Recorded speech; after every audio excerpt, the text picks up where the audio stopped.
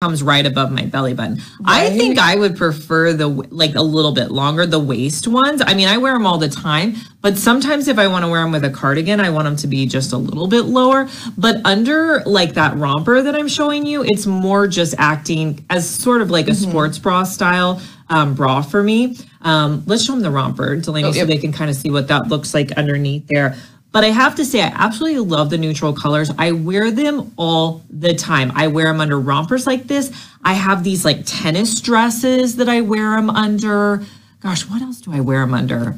I feel like I just wear them all the time. I wear mine under sweatshirts a lot. yeah. I feel like I like wearing them with because they're really comfortable. Yes. I'm trying to be comfortable, I'll wear these with a sweatshirt. And I have the long crop as well. The sizing that is a little bit weird, but the way it's listed is crop, long crop, and then waist length. So I'm just gonna bet crops the shortest, waist length's the longest. We're showing you long crop. So if you're wanting this length, And the long man, crop. that price $23 on Lightning Deal, and you get all three of these.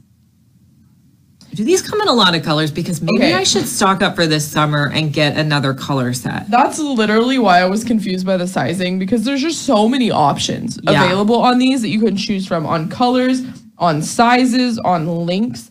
So Mm-hmm. sizing is extra small to 2X. Then there's the different sizes on the crop. Mm-hmm. And then to go along with those sizes, there's also like third I don't even know, like